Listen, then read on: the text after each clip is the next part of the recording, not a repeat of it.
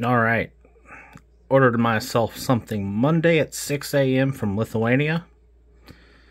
And it was delivered today around 2:40 a.m. to the US. Quite impressed with shipping. All right, time to open it.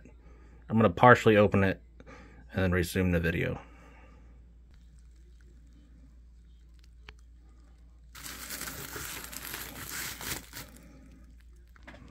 All right, here we go.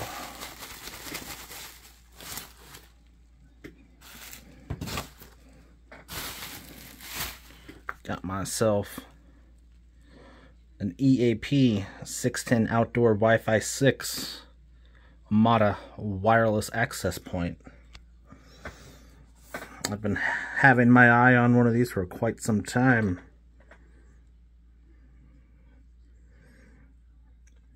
If I remember correctly, it says this thing can be submerged up to 30 minutes.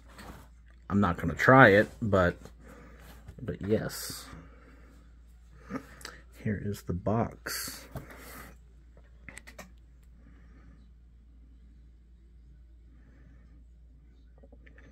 PoE adapter, power cord mounting kit, waterproof kit, super excited to put this out in the shop and get rid of that 802.11n Netgear router. And just get a wireless access point out there.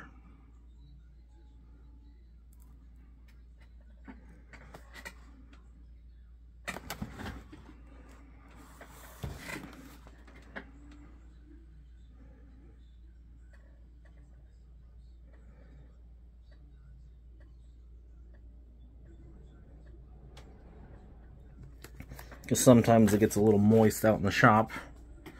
All right, let's open her up. Okay, dokie. All right, it's kind of hard to hold the camera and do this at the same time, but it's got that new access point smell.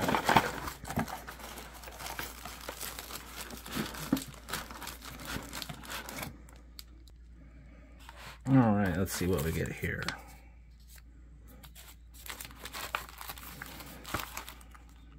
Installation guide.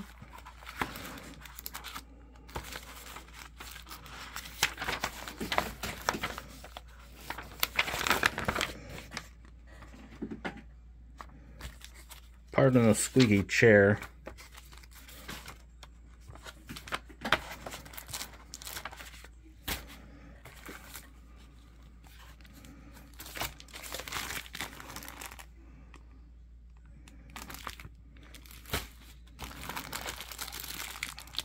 Power plug. Now, this is, uh, of course, a uh, European power plug. But I'm going to use my switch with PoE, so it's not a big deal. If worst comes to worst, I'll just order a US one. Here is the mounting, or not the mounting hardware. Here's the waterproof seal equipment.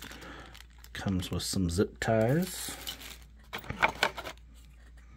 I'm assuming this is for the PoE injector, if you want to mount it on the wall or something. And, uh,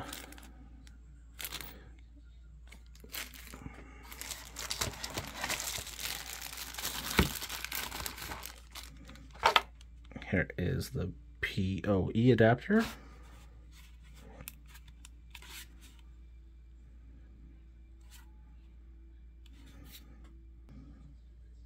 Okay, so that is for the access point. This is 48 volts at 0.5 amps.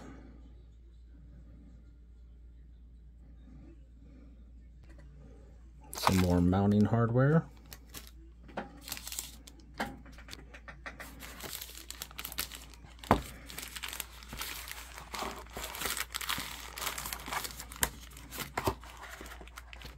Mm, hold on.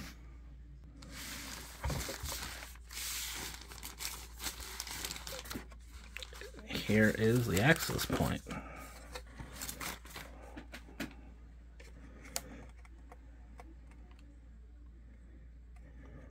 got a reset button, ground, and Ethernet.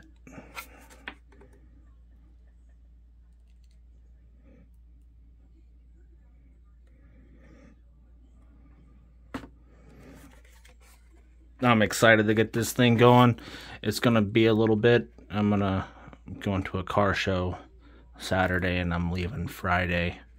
So it'll be a bit before I get a video on this. Um, setting it up. But here it is, the unboxing of the EAP 610 Outdoor.